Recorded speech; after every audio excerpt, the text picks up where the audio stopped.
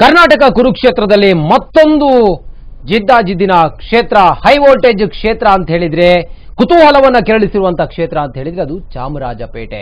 ಚಾಮರಾಜಪೇಟೆ ವಿಧಾನಸಭಾ ಕ್ಷೇತ್ರ.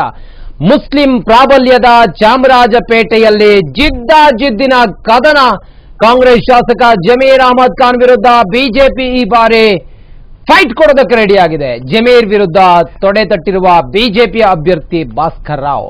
ಐಪಿಎಸ್ ಅಧಿಕಾರಿಯಾಗಿದ್ದ ಭಾಸ್ಕರ್ ರಾವ್ ಈ ಬಾರಿ ಚಾಮರಾಜಪೇಟೆಯಲ್ಲಿ ಚುನಾವಣಾ ಅಖಾಡಕ್ಕೆ ಧುಮುಕಿದ್ದಾರೆ. ಚಾಮರಾಜಪೇಟೆಯಲ್ಲಿ ಭಾಸ್ಕರ್ ರಾವ್ ಅವರು ತೊಡೆ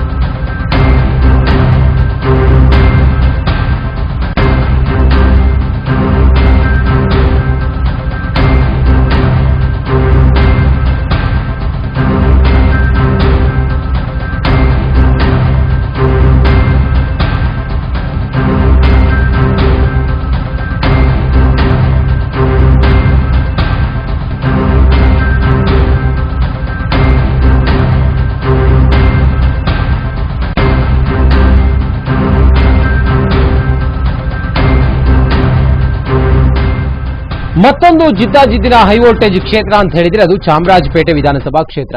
ಮುಸ್ಲಿಂ ಪ್ರಾಬಲ್ಯ